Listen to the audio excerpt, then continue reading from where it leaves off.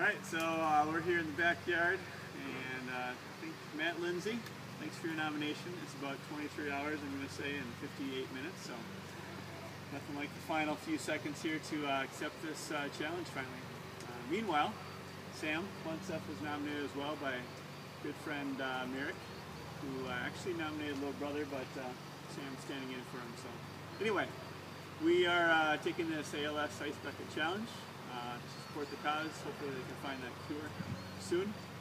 Um, thanks to the inspiration of many, uh, we're going to take this challenge. So we're ready.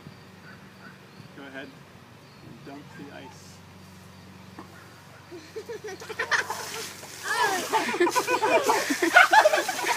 Oh!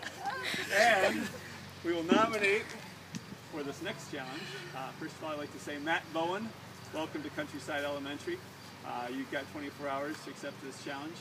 Also want to nominate Mike Norberg. I think you uh, can handle that challenge. And last but not least, I also like to nominate my brother, Ben Monseth.